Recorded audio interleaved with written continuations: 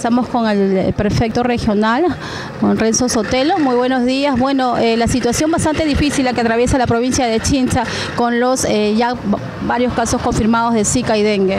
Bueno, no solamente en Chincha, en, Palpa tenemos más de mil casos de dengue y, acá, bueno, acá es el Zika, pero esa es la incompetencia del señor Silloni, pues, ¿no? Pero es la incompetencia del señor Silloni, pues, ¿no?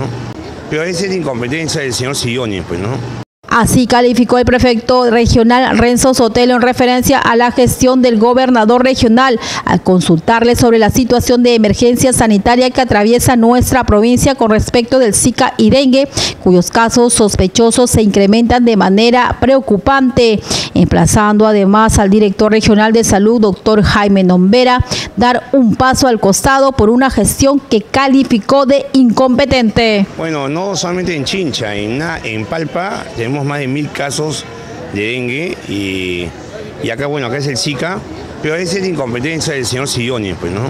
Ya yo sabía manifestar que es un incompetente, tiene más de 25 millones de soles guardados en el, Banco de la Nación y no, no, le hace un buen uso.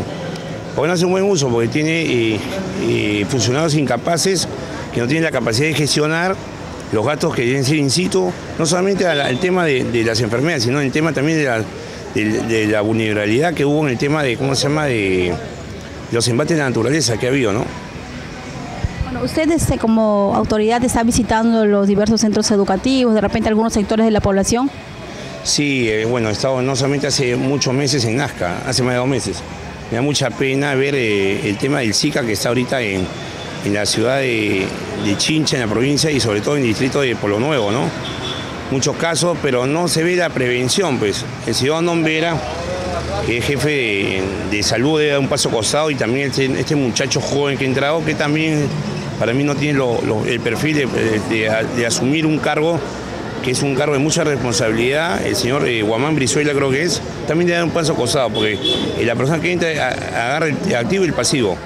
Yo creo que no tiene el perfil, bueno, que nombre una persona capaz, que hay muchas personas capaces, no solamente en la provincia de Chincha, sino en la región.